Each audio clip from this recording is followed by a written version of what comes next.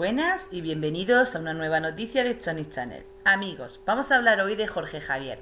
Jorge Javier Vázquez, o como muchos lo conocemos por el niño mimado de Mediaset, daba anoche una de sus entrevistas más esperadas.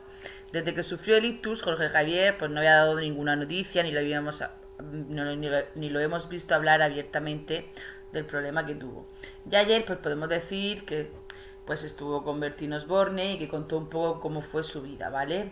El, el presentador, ¿vale? Actor, presentador, porque tiene varias facetas, pues se desnudó un poco, ¿no? Con. Aunque hay que decir que verdaderamente a nosotros, por ejemplo, la entrevista nos dejó un poco que desear. No por nada, sino porque verdaderamente vimos como que Jorge Javier no era del todo sincero en algunos aspectos que contaba. Incluso nos pareció como, no sé, como algo oscuro, no sé. Parecía como que Jorge Javier estaba siempre muy al pendiente de cuáles iban a ser sus respuestas.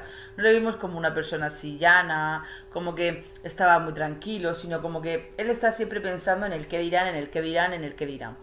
Por ese, por ese tema es por el que nosotros vimos la entrevista, parece que un poco una entrevista no ficticia, pero sí que una entrevista un poco más distinta a las demás. No, por ejemplo, como otras veces hemos visto otros personajes que Bertino Osborne ha ido y ha entrevistado y vemos como la, naturalidad. Nos quedamos con mejor sabor de boca, ¿vale?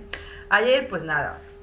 Jorge Javier estuvo contando muchos episodios de su vida, contó por ejemplo cómo fue su infancia, los problemas que tuvo que vivir con su padre, al cual no le tiene ningún tipo de... Dijo que su padre lo quería mucho, que se había, había, estado muy bien con él, que no le guardaba ningún tipo de rencor, pero sí que es verdad que su padre pues llegó a decir unas palabras muy duras como que prefería a un hijo muerto antes que a un hijo mariquita, ¿vale? Por lo visto su padre pues no era una persona que aceptaba a las personas que, que son pues homosexuales. La verdad que es un, también un tema muy duro que un un hijo tenga que escuchar esas palabras de su propio padre, ¿vale? Vimos también en fotografías que salían que, claro, Jorge Javier es idéntico, idéntico a su padre. Pero sí que es verdad que aunque no se parezca físicamente a su madre, podemos decir que sí que la personalidad son bastantes parecidas. Porque la verdad que la madre de Jorge Javier, por supuesto, una mujer muy prudente, una mujer muy educada, pero sí que es verdad que también tiene un cierto, su forma de hablar nos parece como que tiene un cierto ahí, no sé, una cierta, un cierto humor negro, por llamarlo de esa manera. Es una persona que se ve que también es muy estricta, no sé si aguantará mucho las bromas, tiene así una cierta peculiaridad, no sé. A nosotros, por ejemplo, nos, parece así, es gracioso, por ejemplo, si la vas a comparar con la madre de Paz Padilla, por ejemplo, esta mujer que, que te habla, parece que te está hablando como con el corazón, te dice las cosas de una manera, con una gracia, pero esta mujer, no sé, era como que quería ser un poco más bien graciosota, pero luego hablaba de una forma así un poco tajante, ¿vale? Sí que es verdad que le estuvo recriminando a su hijo, pues un poco la forma de vida que lleva, el tema de los novietes, aunque la mujer dijo porque ya estaba cura de espanto y que ya estaba acostumbrada a ver como la vida que llevaba su hijo y más cosas que os podemos contar ayer. Pues bueno, una cosa que nos llamó mucho la atención fue cómo Jorge Javier no sabía ni dónde estaban en su casa unas típicas cucharas. Su madre le mandó a coger una copa de vino y no sabía dónde estaba. No tenía sartenes, no tiene sartenes, como dijo su madre. Hijo, tenías que tener sartenes de todas las miras. Es que no tenía nada. La verdad que nos pareció la casa de Jorge Javier. A nosotros, por ejemplo, no nos gustó mucho, no sé. Mm, no vimos ahí como un hogar hogareño, como una casa así hogareña, acogedora, sino más bien, no sé, queremos que también, como él es una persona que trabaja mucho, que está siempre en las cámaras y siempre está afuera, puede ser que también esto sea el motivo por el que no sabía ni dónde tenía una cuchara en su casa.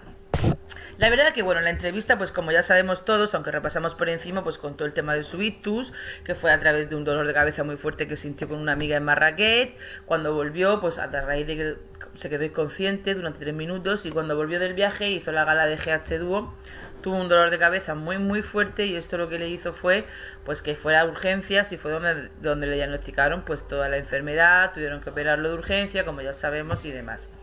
La verdad que bueno, que Jorge Javier pues lo puede lo puede contar todo, que es lo importante, está muy bien, está muy feliz, Ahora mismo tiene sus cuatro perros que para son como sus cuatro hijos, pero no sé, nos, nos faltó algo. Vemos que aunque Jorge Javier esté muy bien, tenga mucho trabajo, es la, la impresión que a nosotros nos, nos, dio. Aunque él esté muy feliz, lo tenga todo, pueda hacer viajes, pueda tener todo lo que él quiera porque tiene muchísimo dinero, es como que no sé, no lo vemos como que tiene arropado, como que tiene una familia, como que al no tener hijos, pero tampoco no sé, hay personas que no tienen hijos pero están con su sobrino, con sus hermanos, lo vemos una persona demasiado solitaria. No sé si verdaderamente su fama, al tener tanta fama o no es codicia, porque no es que este hombre tenga codicia, ni que sea codicioso, sino que el tener tanto a veces también puede serte o, o parecer que estás también más solo. Es lo que nosotros nos da a entender. Aún sigue estando su mamá debajo de su bracito, como los típicos niños de mamá que están debajo de él, pero no vemos a una madre más bien siempre como preocupándose por él por eso, ¿no? No porque vaya con ellos a convivir, porque tenga su familia, porque esté con ellos, no sé, lo vemos de manera distinta. No vemos, por ejemplo, que ejemplo hable de comidas familiares, de estar con la familia, de salir, sino vimos como muy solitario. Es la impresión que a nosotros nos dio, que por supuesto todos los estilos de vida pues son todos muy respetables. Pero sí que es verdad que nos faltó eso, ese punto de, de vivir, ese punto de no sé, de autorreflexión, de decir, pues, oye, sí que tengo mucha gente, pero tengo muchos amigos que me quieren, ¿por qué? Pues por la fama. Tengo muchos amigos que me voy a hacer un viaje y tengo un amigo siempre con que me puedo llevar. Pero no sé, nos vimos muy solo para nosotros, ¿eh? No sé vosotros qué opinasteis, si pudisteis ver la entrevista y qué opinión tenéis de ella. Y nada, pues sobre todo pues lo, importante es que Jorge Javier ha podido contar que está bien, que ha pasado ese bache, que tiene muchas ganas de vivir, que ya lo vimos en los escenarios porque es un profesional, como la copa de un pino, eso sí que no cansamos de decirlo.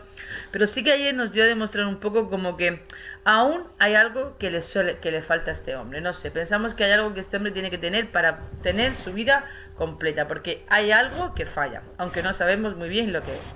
Y nada, ya sabes, si te gusta esta noticia o más como esta, no dudes en seguir nuestro canal. Te deseamos que tengas un feliz fin de semana y eso, que no dejes de seguirnos. Pronto, pronto te traeremos nuevas noticias. Gracias por escucharnos. Sony Channel, tu diario rosa.